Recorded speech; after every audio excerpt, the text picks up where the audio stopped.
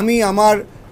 স্যাটিসফ্যাক্টরিভাবে উন্নয়নের কাজ আলিপুরদুয়ারের মানুষের কাছে পৌঁছে দিতে পারছিলাম না। সাংসদের মাধ্যমে আমাদের বিধায়কদেরকে যুক্ত করে উন্নয়নের কাজে যুক্ত করা হবে এমন একটা ধারণা আমি ভেবেছিলাম এবং যাকে কেন্দ্র করে আমরা এই আশাটা করেছিলাম নির্বাচিত সাংসদ, তিনি পরবর্তীকালে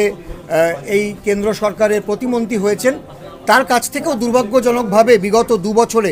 আমি অন্তত কোনো সদর্থক বার্তা পাইনি যে কীভাবে বিকল্প রাস্তা ধরে আলিপুরদুয়ারের মানুষের জন্য কাজ করা যায় এবং মানুষের জন্য কাজ করতে চাওয়ার জন্য আমাকে যেভাবে সর্বভারতীয় তৃণমূল কংগ্রেসের সাধারণ সম্পাদক অভিষেক বন্দ্যোপাধ্যায় অনুপ্রাণিত করেছেন এবং আমি যেভাবে বিধানসভায় আলিপুরদুয়ারের বিভিন্ন ইস্যু তুলে ধরার সময় মাননীয়